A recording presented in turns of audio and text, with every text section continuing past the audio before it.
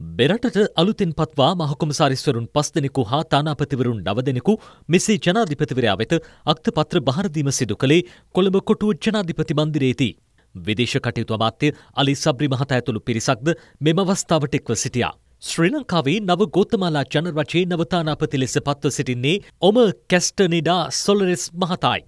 ඇල්ජීරියානු ජනරචයේ මෙරට තානාපති ලෙස අලි අචෝයි මහතා අක්තපත්‍ර බහර දුන්නා. ශ්‍රී ලංකාවේ එස්තෝනියා ජනරචයේ නව තානාපති ලෙස පත්කර ඇත්තේ මාජ් ලුප් මහත්මියයි. ශ්‍රී ලංකාවේ ලාවෝ ජනරජ නවතානාපති ලෙස පත්කර සිටින බෞන්මී වන්මෙනි මහතා ජනපතිට අක්තපත්‍ර බහර දුන්නා. ශ්‍රී ලංකාවේ කොළොම්බියා ජනරජ නවතානාපති ලෙස පත්ව සිටින්නේ වික්ටර් හියුකෝ එච්චෙවෙරි මහතායි. ශ්‍රී ලංකාවේ නවත් නවසීලන්ත මහකොමසාරිස් ලෙස අක්තපත්‍ර බහරදීම සිදු කළේ ඩේවිට් ග්‍රෙගරි පයින් මහතායි. ශ්‍රී ලංකාවේ තුර්කි ජනරජයේ නවතානාපති ලෙස සෙමි ලුට්ෆු ටර්ගට් මහතා ජනාධිපතිවරයා වෙත අක්තපත්‍ර බහර දුන්නා.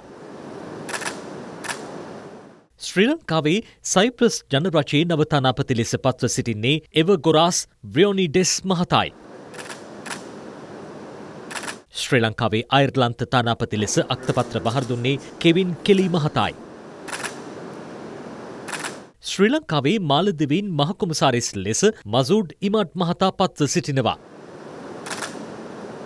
අලිකි කොට්සොමි ටොපෝලෝ මහත්මිය ශ්‍රී ලංකාවේ නව ග්‍රීක තනාපති ලෙස අක්තපත්‍ර බහර දුන්නා. සියරුවා ලියොන් චන්රචයේ ශ්‍රී ලංකා මහකුමසාරිස් ලෙස අබු බකාර් කරිම් මහතා අක්තපත්‍ර බහර දෙන් ලැබුවා. ශ්‍රී ලංකාවේ බල්ගේරයානු නවතානාපති ලෙස පත්ව සිටින්නේ ආචාර්ය නිකොලායි යන්කව් මහතායි. හෙමන් ඩොයල් ඩිලුම් මහතා ශ්‍රී ලංකාවේ නව මොරිෂස් ජනරජ මහකුමසාරිස්වරයා ලෙස අක්තපත්‍ර බහර දෙන් ලැබුවා.